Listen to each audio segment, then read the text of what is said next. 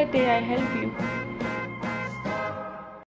Let's hit up Snipzy.dev.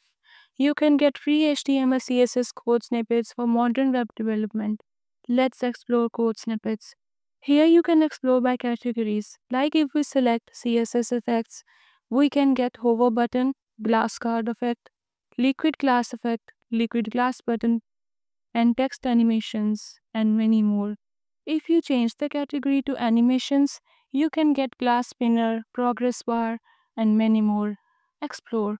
Now let's explore UI components. And here you have a lot you can use for free. Now to use any of them in your project, what you have to do is to simply select the component you want. Like for me, if I want this glowing button effect, I will select it and here I get the preview and the entire code. Simply copy the code of the component you want and use it.